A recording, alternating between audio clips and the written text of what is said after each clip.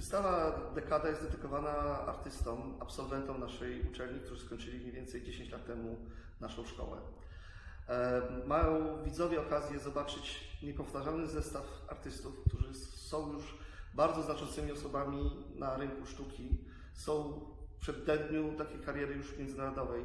Wiele z nich już y, ma wystawy w prestiżowych galeriach w Europie, więc gdybyśmy robili kolejne wystawy, czyli 20 lat po Akademii, to byłyby takie osoby jak Sasnar czy Ziółkowski, więc mają, przy okazji tej wystawy mają Państwo okazję zobaczyć jeszcze tu artystów, którzy się zgodzili pokazać swoje prace, którzy są już wysokiej klasy artystami z różnych dziedzin, które oferuje Akademia. Od wydziałów projektowych, takich jak formy przemysłowe, architektura wnętrz, grafika, po artystyczne, malarstwo, rzeźba, multimedia i również grafika artystyczna.